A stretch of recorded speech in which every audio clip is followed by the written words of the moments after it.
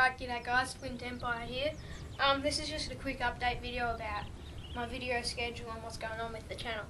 Um, so basically, over the next three weeks, I'm going to be having a fair few videos released because school holidays have started for me and got three weeks off, so yeah. Um, also, my birthday's just been, June the 9th, a while ago, but I've got a lot of presents recently and um, the main thing I got was money, so I'm going to go down to town and buy a few stuff and um, hopefully show it off to you guys. I'm looking at buying um, a Trangia, just a mini one or something, just for like brews and bushcraft and stuff. Um, also, I entered Kanadaluvr's competition. It was really fair, really cool, cool thing to be a part of. Um, the winners were Mr. Will's My Name and Bushcraft, no, Outdoor Dude 93. Um, go check those guys out and also check out Kanadaluvr.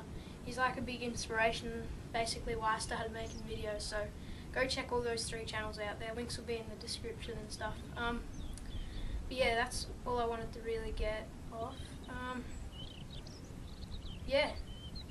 Um, so stay tuned for new videos, new reviews, new outdoor stuff. I might do an overnighter soon. Um, but yeah, alright. See you guys. Thanks for watching. Cheers.